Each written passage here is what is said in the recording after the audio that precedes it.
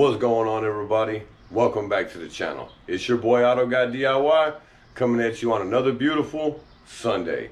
So it's Memorial Weekend, so happy Memorial Day to everybody. I'm hoping y'all have a good weekend. And that's about all I got on that.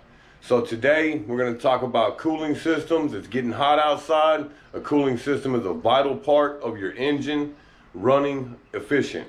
Had to get that out right. So I'm to show you what I got. I pulled my radiator cap off and look at that brown stuff that's on there.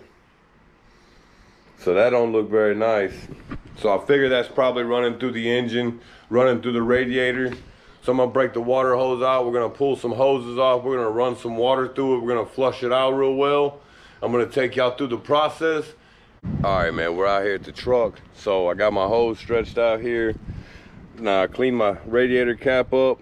I inspected it. Got to make sure the rubber's good here and here. If that thing doesn't seal or work properly, make sure your spring's in good condition by pushing on it like that, that it'll still work because that simple little radiator cap will make your car overheat. So look down in this radiator, you can see all that gunk in there. So I took my lower radiator hose off here, right? And I left my thermostat in here so we're just gonna flush out the radiator right now. And then we'll get into putting the lower radiator, or not even putting the lower radiator hose back on, but we'll take the thermostat out and then we can run the hose through our thermostat housing and through the engine, which will run it through the heater core, and we should be able to rinse all this stuff out. So this process will work the same on the third gen, pretty much on any car, as long as you can get to that lower radiator hose and take it off. And it is good maintenance to do that because this right here is not acceptable. I mean, I took my upper radiator hose off. The best way to rinse your radiator is put your hose, your water hose in your upper radiator hose. Put your radiator cap back on so it'll go, it'll flow all the way through your radiator, rinse it out the bottom. But I wanted to show you, look at this water coming out of here, man. This is terrible, look at this.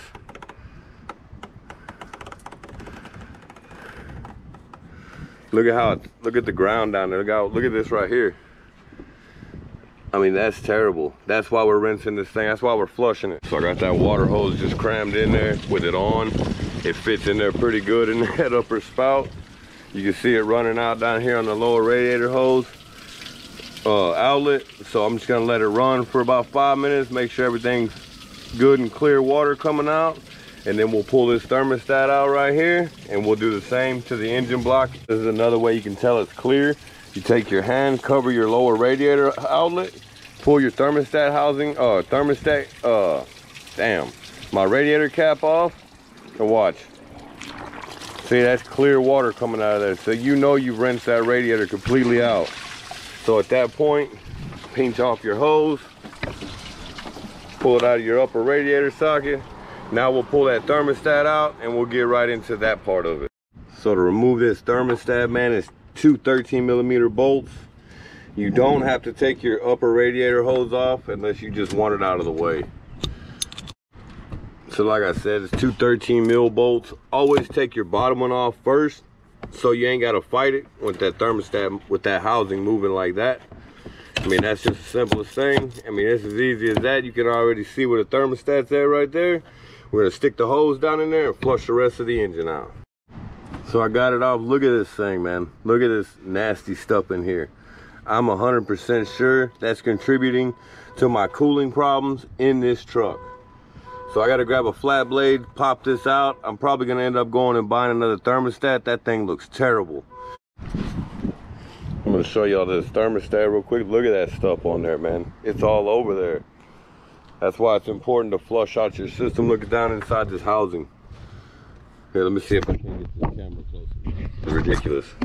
It's almost embarrassing, but I've never done this. So obviously the person that had this truck before me did not take very good care of it. So here I am having to do it myself. All right, man. So I cleaned this thermostat off pretty good. Now I do believe that that stuff on there would probably change the temperature rating of the thermostat. I'm not really sure.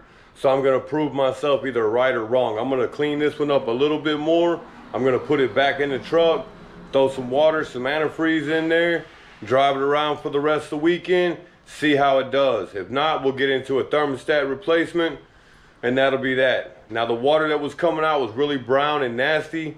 So it was a good thing I did that. Now let me show you what I did. We'll walk back out here to the truck real quick.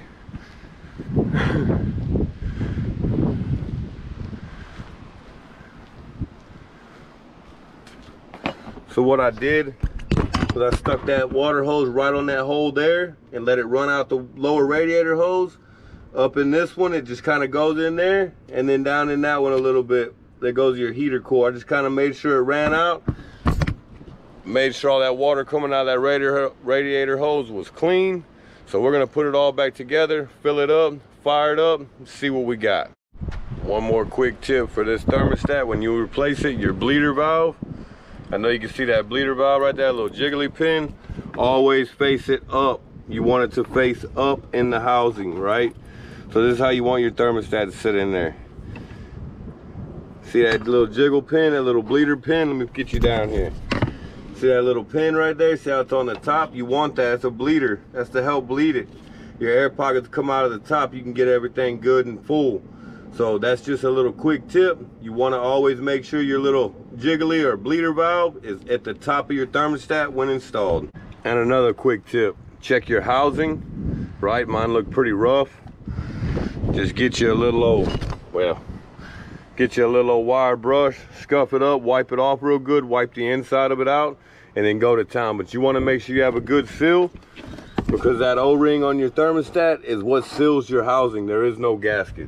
So that's how you flush out your cooling system. It's that simple, man. That's the complete thing. That's the radiator, the engine block. I didn't disconnect the heater core, so that ran clean water through the heater core. And that's what's up, man. It's a very vital um, thing to do for maintenance at least once a year. Flush it out. It'll keep your car running better. So before I let y'all get out of here, I wanted to show you, man, I was looking at the water that came out of the truck. Let me walk y'all back out here and show y'all what came out of that engine block and that radiator. So as you can see right here, there's nothing in this. But when you get to where that was running out of the truck, look at all that stuff that's in there.